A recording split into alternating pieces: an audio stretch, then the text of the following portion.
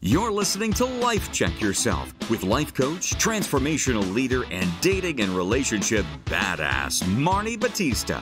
Every week, you'll get the raw truth from top experts and real people on the important life and love issues you want to know about. So, if you're ready to life check yourself in your relationships, your career, and the areas of your life that matter most to you, and you're not afraid to be called out on your uh, stuff, then you're ready for what's next.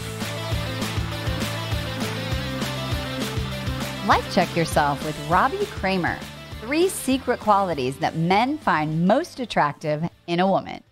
Ladies, welcome to Life Check Yourself. I am here. Ooh, you're going to love it. It's Robbie Kramer is in the house.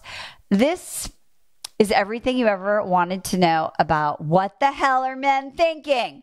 Because Robbie has been guiding men to accomplish their goals with women. He also does health, fitness, and career. Uh, since 2008, he he founded Inner Confidence to show men exactly how to create the lifestyle of their dreams in a way that works. And like me, he does not believe in quick fixes or magic pills or any bullshit. Just test proven and easily implementable advice that works. He brings dignity and ease to traditionally taboo interactions. He is not one of those, what do they call it? Pua?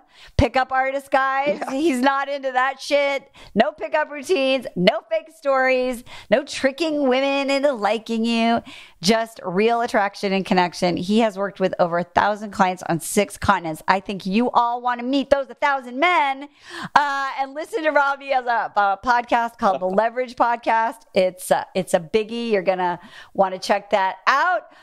Robbie, I'm so happy that you're here. Thanks, Marty. I love the intro. I love your energy, by the way. It's so, it's so contagious. Uh, thank you.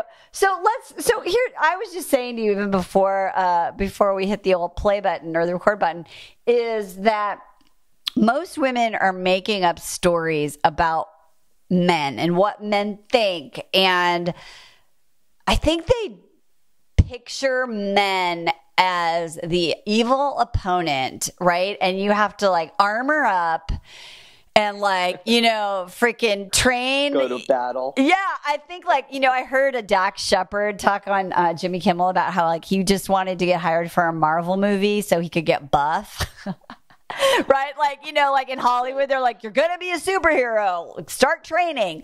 Um, and I think women are like, all right, I need to be up for this. Like, it is the real deal. So, like, just at the top level, like, what do you think is the biggest, like, urban legend that women have about men?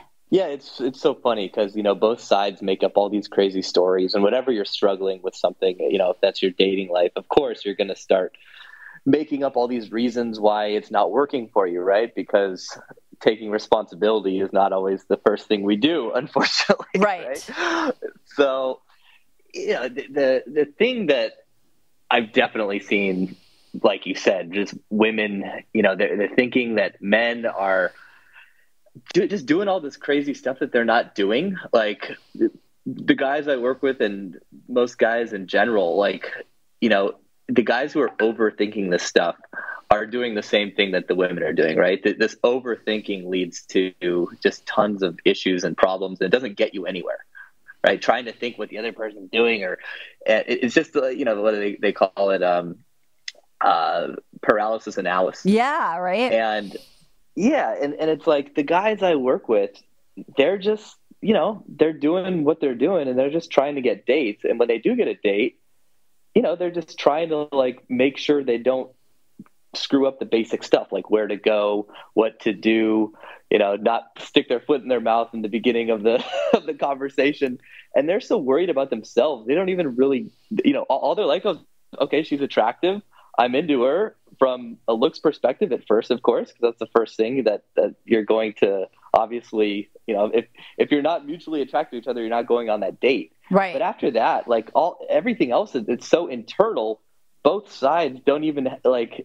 if you just if, if you're worrying about what the other person's doing, you're just putting so much shit in the way because the other person's just worrying about what they're doing too. Mm, so I love it. So we talk about this um, energy that women can get into I call it like the get mentality, right? Where they're like, how do I get him to respond? How do I get him to ask me out? How do I get him to want to commit? How do I want you know like and there it's all about the other person, right? So when right. a woman is in that like anxious get mentality, how do you think men experience that? Like turn off, turn on, what what do you think the experience just, is? Uh, it's a big turn off. It would be similar to a woman experiencing a man who's just trying to get laid. Right. right? Oh, it's totally yeah. agenda based, trying to get somewhere, trying to kind of use that person for their own. You know, you're making the other person like a means to an end, right? If, if you're trying to get laid, it doesn't really matter who, and right, you don't want to be that girl, right?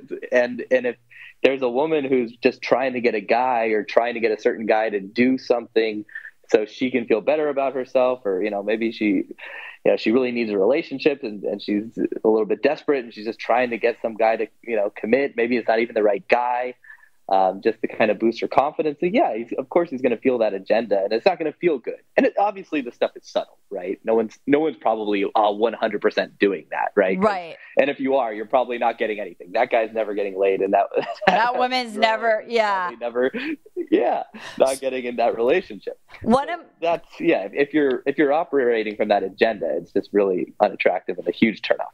And what are the things that you think women do that evoke that energy. Like one thing I talk about is um, I in texting I call it the rule of thumb. Like don't be sending these texts that are like longer than your thumb. right? Like like you know like I like that. Yeah. So like what do you think like on a date what are women doing? Is it that they're talking too much about work? Are they interviewing? Like what are the actual things that they do on these dates or on the Zoom date or even in emails or in their profile? Like, what are they doing you think that evoke that? Yeah, so I experienced this a lot when I was living in New York. This was back in like 2013. I was around 30 years old and very much single and out on the hunt, you know, going on three or four dates a week. Right? New York City, it's like the easiest place to get dates for, for both sides because there's nothing else to do. And, uh, well, you know, in the cities, you got to go out. You don't want to stay in your tiny little apartment. Right, right. right. City, so right, you feel bad about yourself if you're if you're staying inside there. So, anyways, but what I felt was there were so many women that would just bombard me with these like, "What do you do? What's your job? What qualifies you to do that? How much?" But it was, it was very much like trying to base me or, or like trying to judge me based on what I did, how much money I made, and whether or not that would fit their sort of prospect for a long term partner candidate. And it, it, you know, the first question would always be like, "What do you do? Uh, and where'd you go to school? And who do you work for?" And it's like, you know, I can answer those questions. That's fine. Um, and I, I obviously love those questions because when I tell them I'm a dating coach, they they have no idea what the hell to do with that. Yeah, they're like, they're uh... expecting yeah, what what a, what a dating coach. Um, but I would just see that all the time, and um, it was just such a turnoff. And when I, it was funny because that same year after moving to New York, I spent a summer in Europe. And for whatever reason, the European mentality, and this isn't just, you know, you call it a New York thing, or maybe it's more of an American thing. And, and I, I don't think it's just women, it's just our culture in general. But we're, yeah. we're way more focused on, on work and career and getting ahead, whereas the European style is more like, oh, let's take a little nap. Right. yeah, totally. Hours and let's let's live life. Let's drink some wine, right? So the the question I'm always getting in Europe is like, so where have you been, or you know, tell me more about your passions And that felt a lot better to me for whatever reason because it wasn't so much of a an agenda like where this person seemed like they were trying to get to know me versus make sure I fit into their sort of box to see if we would work down the road. And you know, the truth is, it's like if if you're weeding people out based on these small criteria, um, you know, you're you're really just asking to. I, I think it's a, a mechanism. It's like an imposter syndrome where you're you're basically like, okay, if this person isn't within this criteria, I'm not going to date them. And then you make those that criteria extremely small, and then you get to tell yourself the story that there's no one out there for me. I can't, you know, and and dating is not my fault. There's just there's no one in my category. That's so and, important. Um, Did you hear that, ladies? That is so important. Like we make our criteria so small and maybe mis misguided or not focused on the bigger things and then you basically are ruling out everyone right and then and then you get to be right about that story that you know yeah. there's no one out there for you yeah which i mean if you guys like, want it if you guys want to be right you can i mean you know but like why bother um let me ask you this so what's the biggest mistake that men make on dates uh, they they t- pick a horrible venue and they just do a really bad job of making a plan, right? If yes. my belief is the guy. I'm like yes. The other person on the date. right? Yeah. Uh, if, if you're asking someone on a date, it's your job to come up with a plan, right? And I even tell my guy clients, I'm like, listen, if, if a woman asks you out, you should still come up with a plan because it's kind of the more masculine thing to do. And hey, if she wants to come up with it, that's great too. But you should definitely have a plan no matter what, because if she doesn't, then you're going to need a backup. And um, I'm a big proponent of you know telling my clients they should be leading. You know they should take on that sort of masculine energy and quarterback a date in the right way. It's not that hard if you put some thought into it. But mm. most guys don't really think about it. There's like, oh yeah, I'm just going to go to dinner, right? And they they think of a restaurant.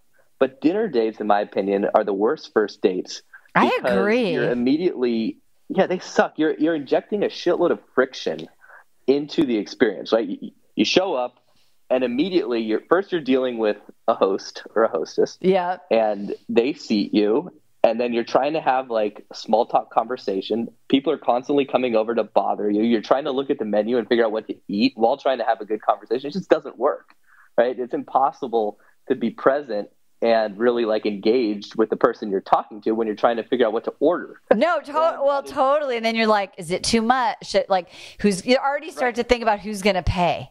Exactly. What what you know? Should I eat the spaghetti? What if I get it on my shirt? Right. She's you know. What, is it true that men? Is it true that men when you when a woman orders a salad, a guy's like, oh god, she's a salad person. Is that true? I mean, I don't know. I don't think so. Maybe some guys. But I mean, but I, I think it's more of a red flag, or I, not a red flag, but like if if I was on a dinner date and she sat down and she's like, "Give me the T-bone steak," I mean, I, I think that's great because I love I love steak. But I'd be like, "All right, that's aggressive." that's so funny. But these are this is exactly why dinner is such a shitty idea. You're like exactly. a steak is yeah. I'm always yeah, and I think women are so weird anyway. We're like, I don't know. I should. Get, I mean, like you know, I, I should order the sea bass because then you know, but I really actually want like the fucking fettuccine alfredo. Okay, so day, so dinner dinner out not a great first date. So guy a guy who can like make a bigger plan is so much better. So dinner sucks. Yeah, dinner sucks. And it's so easy to quarterback a date. It's actually the, the first thing that I like to teach guys. And it's like the front and center, like giveaway thing on my website because everyone sucks at planning first dates unless you've either gotten advice from someone or you stumbled across this by going on tons of first dates, in which case you're hopefully not continuing to go on first dates forever. But the first venue, uh, so I, I have like a three venue sort of deal.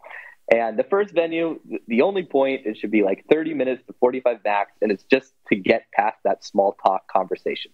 Meet at a coffee shop, meet at a bar, meet at a frozen yogurt place in the park or a gelato stand, and just walk around or just sit on a bench.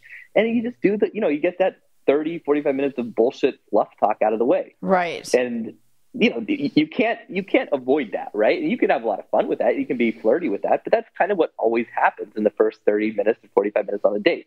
And then if you're vibing and if it's going well then i suggest changing venues going to like a speakeasy or a lounge or something that's a little bit more swanky some good cocktails. Um, and that's kind of when the juicier conversation can kick in and it starts getting a little bit more intimate and, and interesting. Uh, but you know that's never going to happen. You know you're not, you're not going to sit down at dinner and 45 minutes into it, like feel that sort of shift in energy. You're just going to be in that same sort of boring initial 30 to 45 minutes. Maybe you're clicking and that's great. And of course it can work out, but you're just really doing yourself a disservice. So I think from both sides, dating would be so much easier if people just dropped the dinner stuff and they understood that if in order to change the, the kind of the chemistry and the dynamic on the date, the best way to do that is just to change venues because it kind of mm. gives you that like reset and it allows you to just change the vibe. And you can it, it's so easy to do that. It, it has nothing to do with your personality. It has nothing to do with like her personality. It's just have a plan and go to some different spots. So if a, so let me ask you this. So if a guy is like hey you know like i'd love to take you to dinner and it's your first interaction what's a way that a woman can gracefully without you know taking him out of his like lion roar zone um, of suggesting right. something else. Like is do you do you just say okay or do you say wow that you know? yeah like how can we how can I, we so edit? you could totally be kind of like tricky and clever with it by saying sure um, and tell him what day you're free right? Yeah and then maybe like that day in the morning you'd be like hey I got some late work stuff. Can we just meet after dinner for drinks because I won't be able to make dinner? And he'll probably be like, "Oh, that's awesome! I don't have to spend money on dinner. This is great." or you know, he'll. I'm. I don't. I don't think there's a single guy on the planet if he's excited for a date, he's gonna cancel because she wanted to push it back and skip dinner. Oh my I, God. I okay, what about this? What about if he suggests dinner and you say, like, well, I like your idea of just saying, okay, that's great. Like when and where. And then you say, hey, like, I'd love to get to dinner. Why don't we start and meet da da da so that like we can feel like the vibe? Or is that like too, like a guy's like, oh shit, she wants to like test drive me first? Um, I mean, it's it's a little bit like that, but at the same time, it's not like that because you're suggesting drinks, which is more casual, right? Like the, the thing or coffee. Lot, I've got a lot of clients Right. Yeah, I, have got a lot of clients who who like to use the uh, Seeking, of, you know, that site, like a sugar baby site. Ew. and, um, oh, yeah, it's the, you know the older guys, and they're they're looking for that, and uh, it's definitely like a really sort of toxic place to date. And the thing that I'm always telling them, like, guys, get off these shitty online dating sites, especially this one, because when they suggest you know grabbing drinks or coffee the women on there will be like no take me to you know the, the nicest restaurant in town. And you know they're going the opposite way. They're going towards dinner because they're you know they're trying to they're just trying to eat. know, they're in it for different reasons. They're just trying to eat. Exactly. And in some countries they're they're getting cash back on the check. So oh my god. Okay. so we know. Stay away from that website ladies. Okay. So Okay, I like this a lot because I feel like a lot of my clients are like, "Oh God, that's too much. Like, I don't want to go to dinner, but I don't want to like, you know, take him out of his like, you know, roar zone." And so, and I, the only thing I'm like, I'm not a big fan of like sort of like making up a story. So I'm just wondering if they're, you know, saying like, "Oh, dinner, you yeah. know, canceled," um, is yeah, like totally, you know, like I just wonder, like, you, go ahead. Yeah, I think you just, you could just be like, hey, um, kind of just what you said. I don't think you're going to take him out of the roar zone, and if you did, it's probably not a guy you want anyways. Yeah, no right? shit, right? So insecure that he can't. Yeah, like if he can't deal with that, like you're just he sucks. So, okay, let me uh, ask. I'm totally down with your thing. Okay. I just want to make sure because I'm not an expert at men. Okay. So let me ask you this one. Why? I feel like I'm championing every woman who's ever asked me a question right now. I feel like the pressure's on. Um, why do men send dick pics and why do they go online and set and take mirror fucking selfies? Why? Why, Robbie? Why? Oh man. I, I wish I could tell you. Um, I think that you know, the psychology around the dick pic thing is so weird. Um, I think most of the guys that are probably sending dick pics are probably getting laid and they're doing it for the shock value just to ah. kind of you know just to just to like kind of get the reaction so i think there's there's maybe some of those guys but they're really immature and then you know I don't know because I don't come across those t- types of guys very often. Those, those, are not the guys who reach out for coaching. That okay, so this is a really important nuance here, right? Because women are always saying, you know, why are we doing all the work? And I just really want you to hear that Robbie is super uh, busy helping quality men want to be better men and better humans. And so I just think that's really important. Like, because I think that what happens is women focus so much on the guys who send the dick pics or the shitty mirror selfies. And they're like, there's no good men. They're all, you know, whatever it is, because those guys are shocking and right. what you said earlier is so important. You're collecting evidence that you're right, that there's no good men out there. So, like, who gives a shit if there's mirror selfie guys?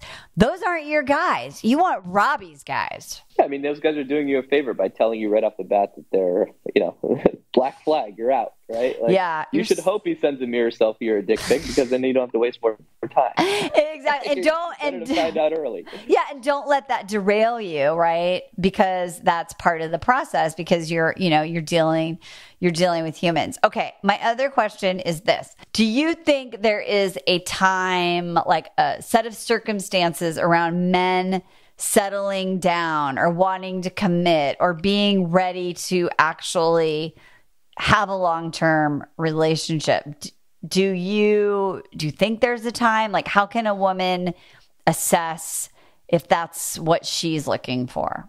Yes i definitely think so. Um, I, you know i'm the best uh, sort of what do you call it? Um, case study for that. Okay. Um, i'm engaged. I'm 39 um, so I got engaged when I was 38. Um, and prior to that, I was, you know, like a self-proclaimed man whore. Okay. Honest, authentic man whore. Like, you know, the, the, women I was dating and sleeping with knew I was a man whore. They they weren't, you know, and it, it worked for me. Um, Did a bunch of them want to try and change you into a commitment guy?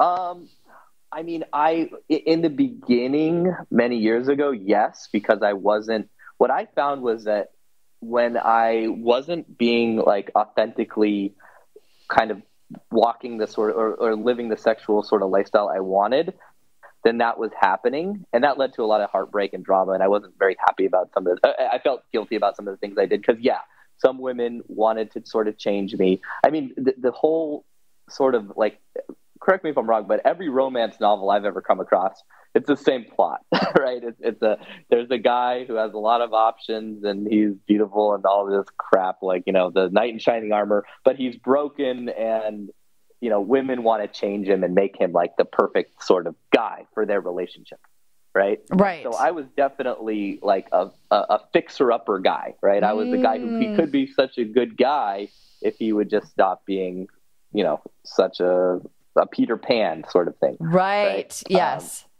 Um, and it, it, actually it took me a long time to get to that. I had all these insecurities and, and confidence issues, which led me to this line of work. But when I finally started having some abundance and choice in my dating life, I wanted to make up for the lost time of like I, I wanted to sleep around. I wanted to like get that, you know, sow the wild oats as they say. And I needed a long time to do that. Like I didn't feel ready for like a monogamous commitment until my like late mid mid to late 30s. Before that, I just really wanted to like you know have fun, have a crazy time. Yeah, and and so I did kind of make a mistake of getting into some relationships before that.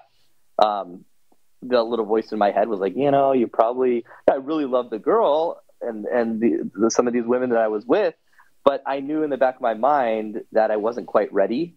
And a couple times, you know, a year or two went by, and then that nagging little voice you know, reared its ugly head and said, you know, you're not really ready for this. And then those were obviously hurtful breakups, right? Right. Um, especially if, you know, one of my partners was in her like early 30s and she wanted to start a family. And, you know, we were together for a couple years. And that's like very valuable time, you know, if the, the clock's ticking. Right, right. So, you know, if you're if you're in that sort of phase in your life where you're looking for a commitment, you're looking to start a family soon, you feel that pressure from the shot clock like I definitely would not would not try to be changing some guy who's a player into a long-term commitment guy because that guy's not going to change and he's just going to waste your time. And he's not going to waste your time on purpose necessarily, but right. you're you're not going to change anyone in a relationship. You need the guy who's like you know, be with me. Let's move this along. Like you need the guy to be very much, you know, at the at the helm of of pushing for that as well. It should it should be an equal investment right? You should both no, that's be wanting so that at the same huge. level. And this used to drive me nuts when I do that. We talked about man panels.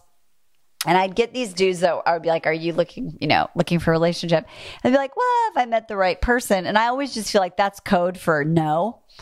But Right. I'll sleep with you and then maybe I'll grow out of my need to like you know, but I just think that this is a really important distinction for ladies who are dating because I think that when we have some unresolved shit, we like are selectively mute. Like we hear what we want to hear. We like paint the picture to make it look like we want to it to be because of the potential or the possibility. And the the choice point is what what Robbie's saying is like there's actually guys who are like running down the street with metaphorical like i'm ready signs right? Like so that will look and feel different. So then so then what is, happens with the guy? Like how does he know like okay now i'm ready and then how does she know? Does she ask him? Like what what do you think that looks like? So, so yeah, what I was, I even had the reputation, obviously, of being a you know a party boy, right? yeah Um,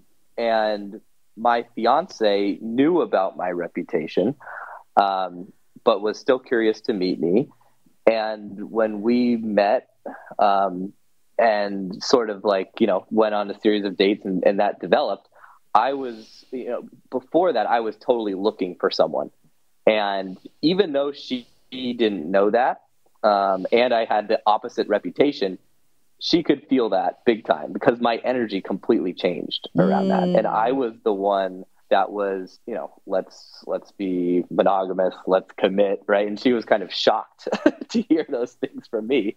Um, and in a good way of course because i had to kind of undo that that reputation that i had in her mind of course. Um, and that like i always say that you know when it comes to to dating and obviously with with the gender roles changing and depending where you are but traditionally kind of like men have always kind of held the commitment card where women hold the sex card right, It's, it's, and if a man is super fast to play the commitment card that's usually a red flag. Um, with the sex card i, I kind of disagree but you know you can you can have great sex in the first date and it shouldn't matter. But if one if one side is is play is, is kind of using those cards too tactically that's always a red flag right? So if a guy wants to jump into a relationship like before you guys have even like gone on a series of dates or before you've like really got to know each other red flag right? And but if uh, on the same token if a woman is like holding off sex for months just because she's worried that if what if you're you're going to screw her and then leave that's really unhealthy too because you're not Right. letting the relationship sort of develop. So you know I, I I see that a decent amount with with clients is they'll be like dating a girl and, and for whatever re- reason the the woman will just not she won't let things progress because she's so worried that the guy's going to leave after they have sex. And that's just not the case. If a guy is ready it doesn't matter so much when you have sex with them and you, you need to be able to read that energy and not just rely on you know do i sleep with them or not based on some silly arbitrary rules Well, also, can't you just like like uh, high school style? Like, can't you like roll through the bases? Like, there's a difference between like I'm not gonna sleep with you, and then like let's just take this a little bit slowly, so that you know when we Yeah. decide to have like you know intercourse when we're going for the whole thing, like we know each other, we can have that kind of on, honest conversation, right? Because I think women are so fucking binary that like you know like uh, I'm not sleep, you know I'll do like George Costanza, I'm gonna do the exact opposite, right? Like so therefore I'm not gonna, or, you know. And so I think what you're saying is like you have to read the context of the conversation and what's the guy earning and versus like his conversations that you're having and how does how does he make you feel. By the way, like anyone could leave. Like you might break up after you have sex because you realize six months into it or five months into it he's not your person. yeah Doesn't guarantee. exactly Um. So when a so you were just you just had a moment and you were like, okay, I'm done now. Like I'm done. I've my friend Chris, who you uh, listened to on the show, uh, the conversation I had with Chris many years ago was like, I've seen enough big boobs. like I've you know, like I've done enough, right? Like I've I've I've had my my dose of uh, double D's or whatever it was for him, and then he was just like done. Like it wasn't. It was gone. That like that need Yeah. to sow the oats just was gone. Did that happen for you too? Totally. And you know, the, the sowing the wild oats thing for me it was all my own sort of validation shit. It was, you know, because I was kind of like the chubby kid in middle school, and I got rejected from the first girl I asked to be my girlfriend, and that, you know, ba- basically led me to like not asking any women out until like the end of high school. So I was kind of a late bloomer. Right. Um, and there was like a lot of confidence issues and I guess trauma from that. And I needed to prove that I was cool by like going out and having all these experiences. And it took me a really long time to prove it to myself. It took me like 15 to 20 years, um, you know, till Yeah. my mid 30s. Um, and I was even aware of that for like the last couple of years of it. And I'm like, no, for whatever reason, still got to do this, you know, still need to go out and, you know, Was it as fun? Was it was it as fun? Was it as fun at the end? Because you knew that. Did you have no, to like? it, it, yeah. that's that's what changed. It stopped being fun. It Yeah. became just like like each six each successive um, you know conquest or victory or whatever lost its luster. And after a while, I'm like, what am I doing? This is like really not fun or cool anymore. What I really want is just to like find someone awesome and you know, kind of move on to that next phase of life. Like I started feeling a little bit old. I was like, ah, I kind of want a family soon. And it was just a very like kind of black and white switch over. And then I started looking for that person. And then, then I realized like you're probably not going to find this person in that party lifestyle scene. Um, and so that's that's another one. If you just if, if you're a woman and you're looking to see you know what type of guy he is, just kind of look to see who he's hanging out with and what he's sort of doing. Um, it, it doesn't always tell the picture or tell the truth, but you can get a lot of pretty good data from that. Like if all of his friends are like crazy partying single dudes and he's, you know, going on yachts with them every week in Miami, odds are that's He's you know, probably trying to do. The odds are you might see him on a reality show in a couple of months. Um, yeah. yeah, right.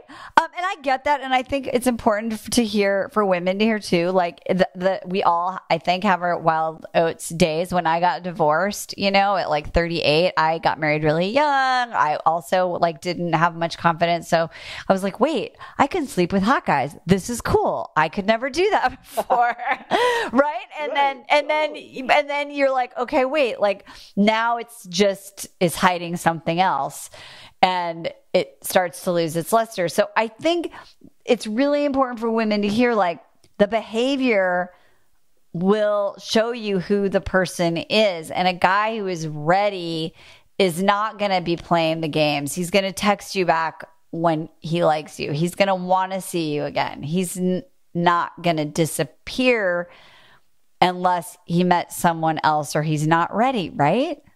Totally. Yeah, and, and that's, that's I'm really glad you brought that up because a lot of the time, I mean, the thing that happens to all of my clients and on the most, you know, the thing that happens most often is women disappear, right? They they ghost or they stop responding or whatever happens. And I tell my clients, I'm like, guys, you can't take that personally because it's almost never about you. It's almost always about someone else. There's another guy in her life maybe it's an ex-boyfriend or maybe it's a new guy that just came in the picture and he's for whatever reason there's a more of an emotional investment there for her with him odds are that will change and that will pass because most relationships fail Right. 99.99 or whatever right Yep. um, and as long as you don't get salty and send like a rude text or weird or send a dick pic or do something stupid, odds are as soon as that relationship, you know, unravels, she might be available and she'll remember you as the cool guy who didn't chase after her or didn't do anything weird. And then that can be the perfect time to, you know, to start something new. And I've had that happen so many times with women over the years where I didn't, you know, I, I just simply, I, I waited and I did my own thing. I didn't take it personally that, you know, she wasn't getting back to me. And then we ended up having like a really cool, awesome time or relationship. And it, it happens both ways. So if a guy ghosts you or whatever, like just, just, it Chill. doesn't matter. Odds are he might be back. Yeah. yeah. I mean, I've had some clients who that happened, and then they. I had one client who ended up marrying the guy who came back. Right. Like, so. Yeah, um, exactly. So yeah, as we like to say around here, just chill the fuck out. Um, right. Yeah, I think that's really good. Okay. I guess it matters. The, the, the one thing just just to throw in there, like if he ghosts you after like a series of dates, he's probably not coming back. But yes. If it like if it never got to the date, or maybe it was just one date, and that you felt like the date went well, but then he never heard from him, it's probably the this thing I described before. Yeah, and I think that's a really good distinction. So I think that's really important. Um, okay, Kyle, we, we we have to have you on the man panel sometime for sure. Um, so let me ask you one last question. Um, gosh, I'm like, I'm sort of like, do I want to ask one or do I want to ask the other? Um, so if you think about the secret thing that men are really attracted to, like if it, if you could distill it down to one thing, what is it?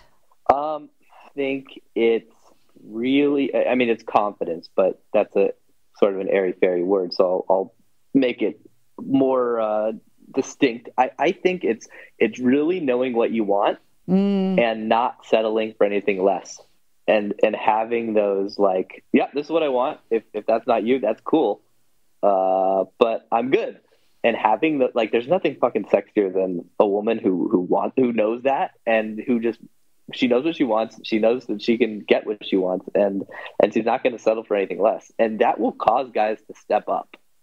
Like if a guy really likes you and you know, like and then you you're exuding that type of energy, like he'll move mountains to to to be with you because there's there's nothing more attractive than that. And that obviously I think that works both ways for men too. Yeah. But I think women forget that and they think guys are too, you know, like, oh, they just care about tits and ass or whatever, right. or, you know, other things. But no, it, it's there's nothing sexier than confidence in a woman, I think.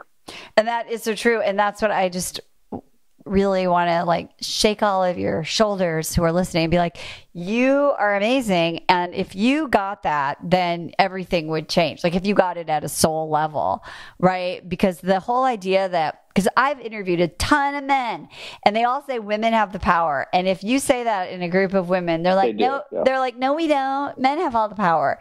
And so you need to feel your power. I think that's the real totally. The, women really do have all the power in in the dating game. It's it's you know they're the choosers. They're they're the ones literally like making the choice. right? And if that is blowing your mind right now, and you're like, "That is at, fuck you, Robbie. That is so not true," then literally you need help. because it is absolutely 100% true. I have talked to thousands and thousands of humans with penises, and they all say the same thing. So um, that's where I'm going to leave it. Advice Great. from humans with penises. You have all the power. Um, Robbie, thank you. I hope to chat with you again. You are brilliant, and your clients are lucky. Uh, and ladies, uh, go back, listen to this episode. I think there's a million points where you could life check yourself. We'll see you back here next time. Bye bye. Hey, thanks for tuning into today's show. So, if being in an intimate relationship in which you feel 100% seen, heard, and accepted by a high caliber man is a priority for you right now, and you're interested in seeing if you're a fit for working with me and my team at Dating with Dignity, here's what I want you to do just head over to DWD VIP. That's D as in dating, W, D as in dating, VIP.com, and book a call to speak with my team. We'll get on the phone with you for about 60 minutes and you'll get crystal clear on what's stopping you from finding true love right now. We'll also take a look at what you want to create, what you want your whole life to look like when you're able to finally be fully expressed as a woman in a healthy relationship with an incredible guy. And if we can help you get from where you are right now to where you want to be, we will show you the fastest path possible that makes sense for you to do that. We help smart, successful women all over the world solve this one missing piece in their life so they can finally have it all. So, to see if we can help you do the same thing, head over to DWDVIP.com. I'm Marni Battista, and let's talk soon.